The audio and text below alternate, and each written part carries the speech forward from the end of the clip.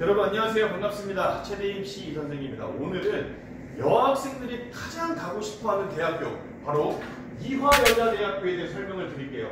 자 지금 이화여대는 어, 유튜브 댓글에 바로 좀 어, 알려달라고 하는 학생들이 있어가지고 이화여대 바로 설명을 드리겠습니다. 자 이화여자대학교는 다른 학교와는 다르게 다단계 전형이 있습니다. 다, 다단계. 자 1단계 전형 그리고 2단계 전형이 있죠. 자 1단계 전형은 수능 100%입니다.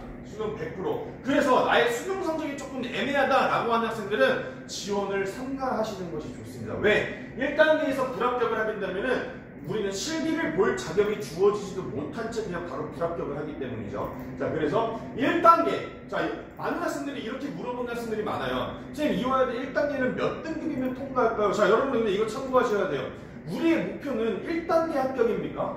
아니, 최종 합격이 목표입니다. 근데 1단계를 통과한다고 해서, 어, 간신히, 간신히, 간신해서 내 성적이 통과를 했다. 라고 하는 학생들은 사실상 합격하기 어려워요.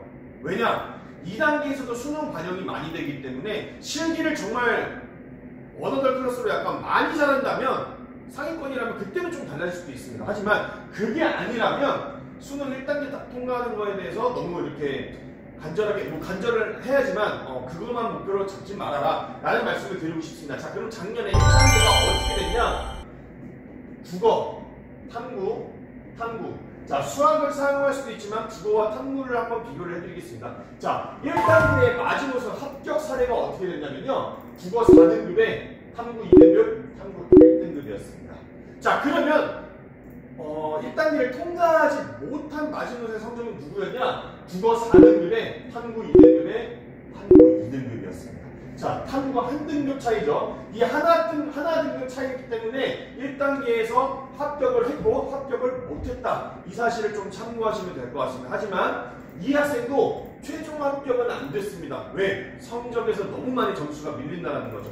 평균 지원자, 그러니까 합격권의 성적대와 거의 대략 점수 차이가 이 학생은 한 25점에 30점 차이 났어요. 그러니까 합격권이 조금 어려웠다라는 사실을 알고 계시면 좋을 것 같고요. 실기 종목은 10m 왕복 달리기, 그리고 제자리 멀리뛰기, 그리고 메디신볼 던지기 총 3종목이 있습니다. 자, 어느 정도 실기를 해야 되냐? 이화여자 대학교는 물론 성적에 따라서 좀 다르다는 사실을 좀 알고 계시면 좋을 텐데요.